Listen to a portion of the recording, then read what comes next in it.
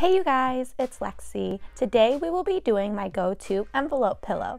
I will also be showing you guys how to square your fabric. This is super easy and pretty basic, so let's just dive right into it. These are the items right here that you will need to be successful in this tutorial. Please take note and make sure you have all accounted for. So we're gonna go ahead and measure our pillow insert, make sure it's accurate to the measurement we thought we had. Then go ahead and iron out your fabric so it's completely wrinkle free. To square your fabric, you'll want to fold your fabric in half, corner to corner. You can see here in this clip how my fabric overlaps on the bottom and on the side. That is what we do not want. So you'll take your ruler and find the highest point that the fabric is overlapping. Please take note that my ruler is slightly above the overlap. Now take your rotary cutter and begin to cut. As you're cutting, if you need to move your ruler, keep in mind to keep your rotary cutter down at all times, even when you're sliding the ruler. So if you want, you can take your yardage and cut it down so it's easier to use on the cutting mat in smaller pieces as you see in this video right here.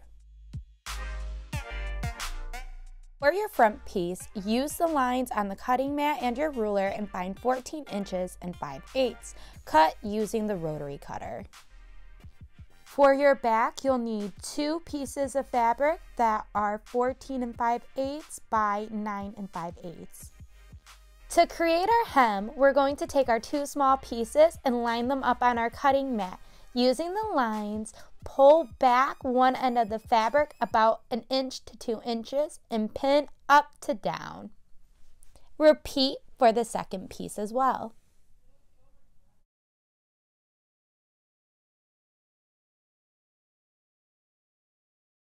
Now once you're done pinning, take those pieces and go ahead and sew down your hem. Now take your front piece and face it up and take your two back pieces and face them down like you see in this clip. Make sure you check the design of your fabric and make sure they are going with the right flow. If you have stripes, you want to make sure they're all following in the same direction.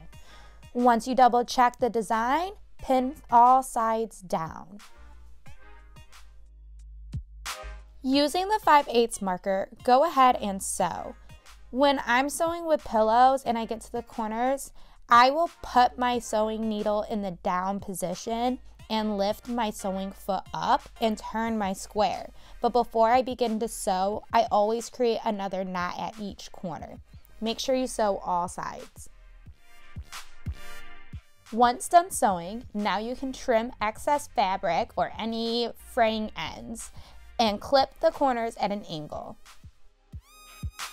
Flip your pillow cover right side out. Push the corners out with the end of your scissors while they're closed and put the insert of your pillow in your pillow cover and you're ready to go.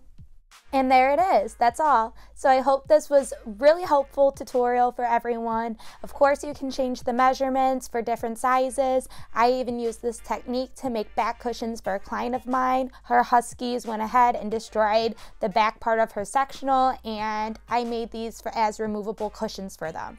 Please feel free to subscribe to my channel if you haven't already. And if you have any questions or comments, leave them below. Until the next time, you guys, take care.